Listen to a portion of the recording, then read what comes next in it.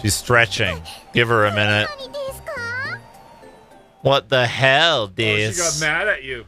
yeah.